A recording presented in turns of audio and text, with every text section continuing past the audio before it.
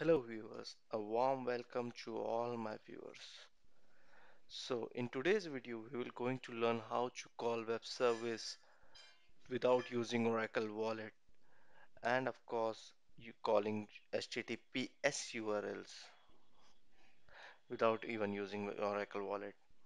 Um, first of all, I believe so that we all know the difference between why do we need Oracle uh, Wallet or I should say when uh, we would be needing Oracle Wallet. Actually, to call the HTTPS URLs, we need Oracle wallets. And because Oracle provide the wallets through the enter uh, only with Enterprise Edition, so I've created a workaround for that one to call the web service or the HTTPS URLs without using Oracle Wallet. So I've created a you can say list of items which we would be needing. We would be needing a batch file, database, Oracle database directories, Oracle database jobs, database procedures, util file procedure to call the CLOB. Of course, the data which we would be getting, it would be stored in the CLOB, and of course, we would be creating a table for that one. So, without wasting further time, let's start it developing our, you can say, the tool or something, whatever you want to say it. Okay. So, this is the data which we are going to fetch that one. I have created a web service on apex.oracle.com. It could be any one of them. You can have the data from any of the site, any of the portal. I have just choose this one as an example. You can see it is an HTTPS URL, which is secure connection. And now we would be creating tables for that, for the same ones. So let me delete all the other stuffs and we would be close others No, I won't be needing anymore. Okay. So let me clear this one. So first of all, creating a web server table. Okay. Now for your reference only, I've created a database directory over here. C underscore web C slash web service. This is the path which I have provided. I have created a database directory. Okay. And of course, I will of course create the job again. Okay. So let me delete the older one.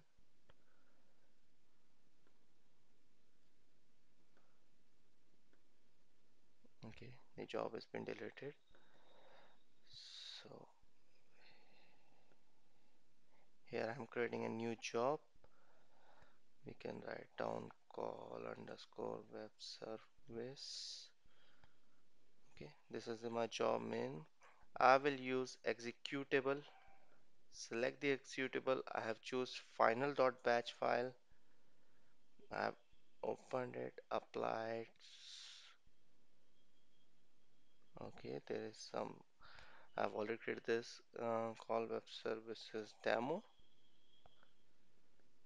Okay, so Oh, that's great. I have already using call underscore demo. Uh, the name would be same call underscore web service underscore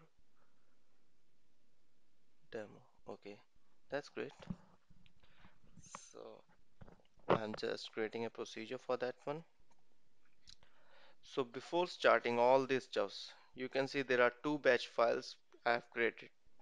The reason behind the two creating a two batch file is in first batch file means the core one. Uh, it's final.bat its final.batch file, I have written all the code. Likewise, if I'm using WS script to create object, this is the default script. Anyone in the uh, from the uh, who is having the Windows can create the script and run it. Microsoft provide all these features freely, so you can uh, you simply use http.open and get command even you can call it the uh, call from the post ones and of course I am saving the final data in the final.txt this is the same URL which I have called this one So, uh, so this send uh, http.send will send a request to this URL and get the response. In case I don't get the response, then of course I would get this error return to return no on download and all those stuffs would be occurred. Okay. So initially we will start. Uh, we will first call and of course let's not forget about the another uh, you can say batch file. In this batch file, I have just created a path over here to reach to my final.bat. The reason behind this is because Oracle doesn't uh, gets confused while calling the uh, batch file directly. The final final.batch means if you are running whole code like this one, so it get confused. So rather than doing that one, I'm just calling a batch file from a batch file. Okay. So for, uh, first let us try it manually. What it, what will be happen? So see, it is it is called final.bat and final.txt has been created. So this is the whole data which was over here our get uh, from our get web service.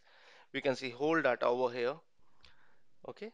So let us delete this one and try to call it from the database itself. Okay. So we have created a table over here. If you remember in the first step we have created a table. Now let's call this procedure first. we would be calling this procedure the scheduler I should say this is the command from the for the scheduler which we have already created this one it is dbms underscore scheduler dot run job of course we have created a job so we simply run that one.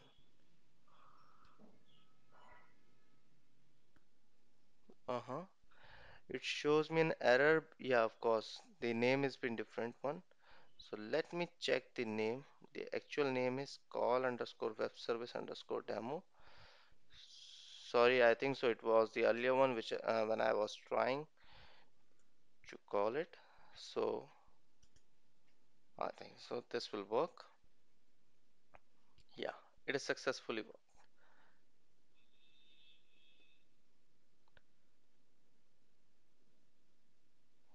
So let me check over here. It is.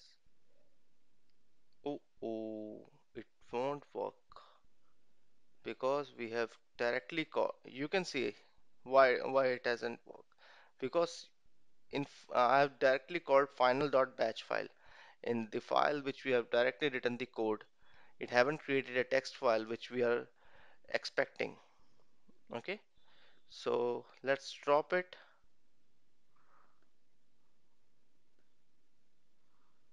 Okay? And we will copy the name. And we will open the connections. And we will create a new job okay with the same name or different name anyway you want. So executable. Okay so we have to call this one. Call underscore web dot batch. Okay now we call this one.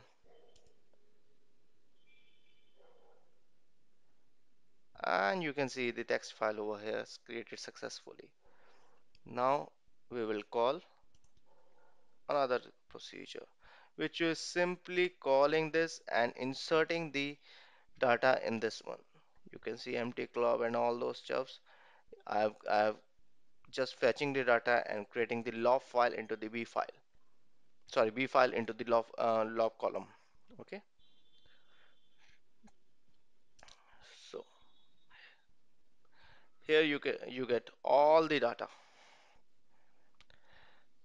please do let me know in my comments how do you like my video that's all for today And of course, this is the whole video. Uh, uh, many of the viewers are waiting for that one, how to call a web service without using Oracle Wallet. And if you want any kind of help regarding this one, I can provide you in the comments or share this whole data with you. I don't have any problem in that one because it's a simple web service. I have just provided the same data over here. And I think so I can share all the things if you want. So please do let me know in the comments. And if you want a particular data, that also I can provide you.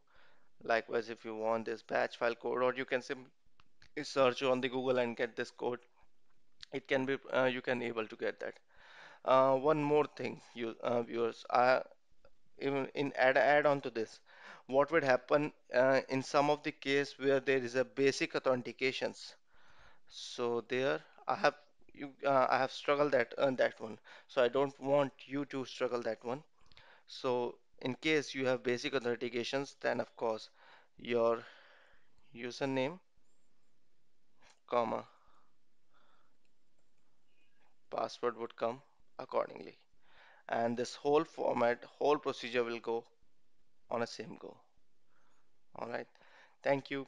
Please do let me know in my comments how do you like my video. Thank you. Have a great day. Bye bye.